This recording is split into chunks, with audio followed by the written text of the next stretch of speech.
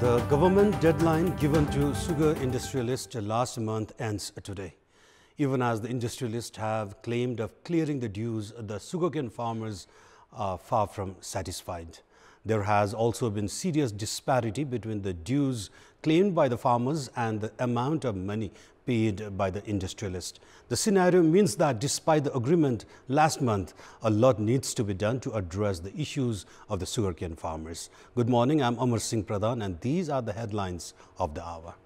Hearing on the core issues of the dissolution of the House begins. Lawyers demand for the record of the discussions held during the constitutional drafting process. The Election Commission starts preparations for election amid differences among the political parties, proposes voters list on 28th of this month.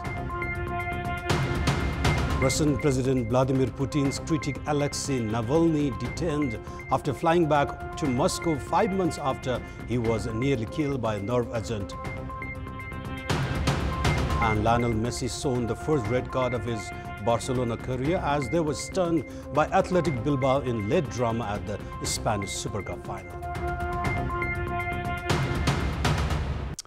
The hearing on the core issues of dissolution of the House of Representatives began from yesterday.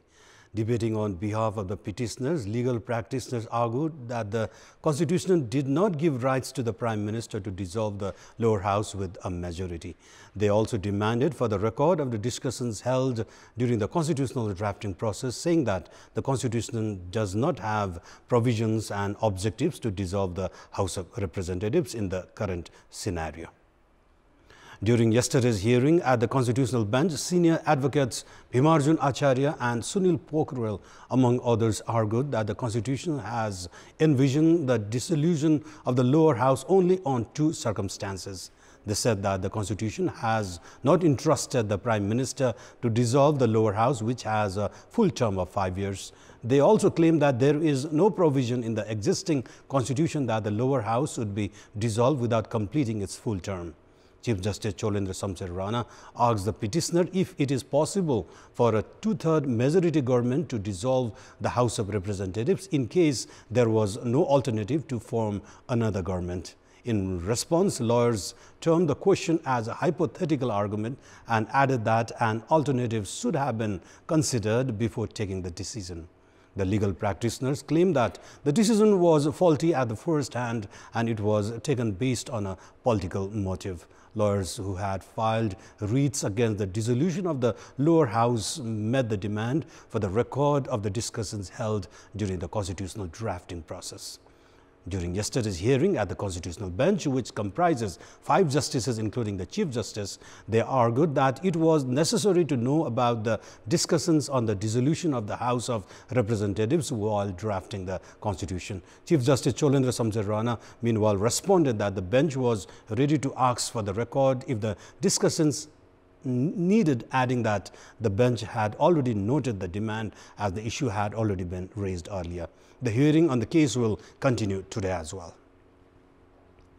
Chairman of the Nepal Communist Party, Pushpa Kamal Dahal, has instructed the leaders and cadres of his faction to join and intensify the protest against the dissolution of the House of Representatives speaking at a gathering organized by All Nepal National Free Students Union of the Dahal faction held in the capital yesterday. Chairman Dahal said a vigorous protest was the need of the hour against the unconstitutional move of Prime Minister KP Sharma Oli. Chairman Dahal instructed leaders and cadres of his faction to prepare themselves to face extreme consequences during the massive and what he termed aggressive protest to be launched under his leadership.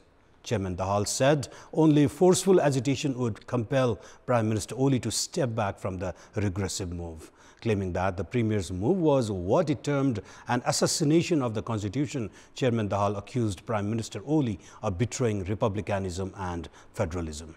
During the program, Chairman Dahal expressed his doubt over the Prime Minister's attempt to influence the court and the Election Commission with his power and position. However, Chairman Dahal clarified he had faith on the Supreme Court and the Election Commission despite Premier Oli's attempt to set up channels at all of these bodies. The Election Commission has started preparations for election amid differences among the parties over the dissolution of the House of Representatives and the proposal and the proposed election. The Election Commission proposed to publish the voters list on 28th of January during the all-party meeting held yesterday afternoon. During the meeting held with the political parties to discuss several issues including updating the election centers and polling stations and the voters list among others the election commission made it clear that it would carry on with its regular works major political parties representing the dissolved house of representatives were present during the meeting called by the election commission the disgruntled Pushpa Kamal Dahal Madhav Kumar Nepal faction of the Nepal Communist Party urged the Election Commission not to move ahead with the election schedule, saying that the case on the dissolution of the House of Representatives was under consideration at the Apex Court.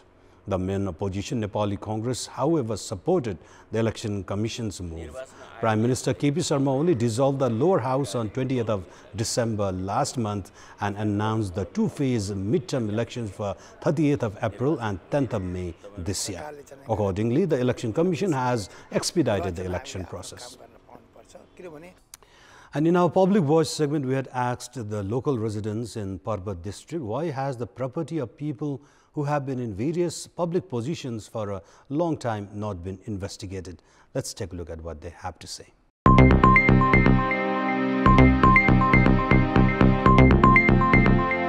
शक्ति केन्द्रकै आडमा संरक्षणमा उनीहरूले चाहिँ मौलाएका छन् उनीहरूले काम गरिरहेका छन् संरक्षण प्राप्त गरिरहेका छन्। त्यसो भएको हुनाले पनि अहिलेसम्म भनौँ न छ्यालिस सालदेखि यतापट्टि भनौँ त्यसभन्दा अगाडिका पनि भनौँ जसले अकुट ढङ्गले सम्पत्ति आर्जन गरे ती व्यक्तिहरूको सम्पत्ति अहिले पनि छानबिन हुन सकिरहेको छैन। मिहिनेत गरेर कमाएको कि त्यसै कमाएको कि कसरी कमाएको भन्ने कुरा थाहा हुँदैन।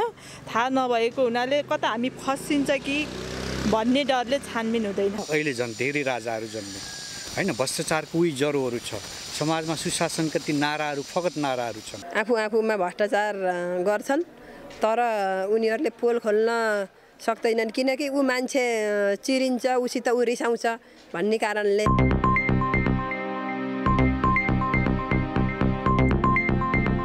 Now time for our segment Public Pulse where it texts us with their opinion.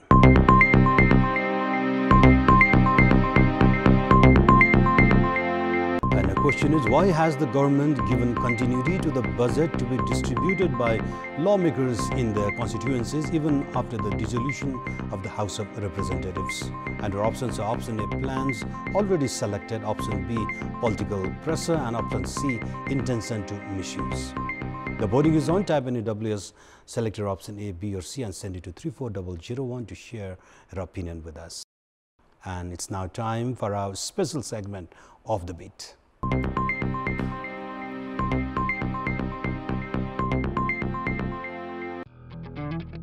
Poultry farmers in Kavre have started the commercial farming of various species of birds, including quails, turkey and pheasants, among others. It may be noted that just a few years ago, it was unimaginable for the local poultry farmers to think about farming any birds other than broiler and local chickens. Some youths from Sanga Kavre had set up a poultry farm where they have reared quails, turkey, pheasant and some other local birds. The hatchlings produced here are also supplied to various agricultural farms across the country. The domestic farming of pheasants that were purely considered as wild birds started just a few years ago in Nepal and there are now three farms rearing pheasants in Kavre alone. Many farms are also making lucrative earning by selling quail eggs. The veterinary hospital and animal health service in Sanga have also provided motivational incentive to these poultry farmers. These farms are bound to cater to the changing taste of Nepalese meat lovers. The tourism sector that had remained disrupted for at least 10 months has started to surge back to normalcy. With the pandemic showing signs of relenting, domestic as well as tourists from India have started to reach Parsa National Park. These elephants, who had a long layoff at Parsa National Park amid the pandemic, have started getting busy again with a notable flow of tourists. With the opening of border, people from neighboring Indian towns have been taking their time to visit Parsa National Park. Considerable number of Indian tourists visit Parsa National Park as they spend some quality time on elephant rides, observing some rare species of wildlife, enjoying the local delicacies and fresh air. The domestic and Indian tourists visit different historic and religious shrines located in Bara and Parsa districts every year and the trend is also fast catching up this year, providing a huge relief to the ailing tourism sector. This is Sarah Chitrakar for our special segment of The Beat and Kantipur News Desk.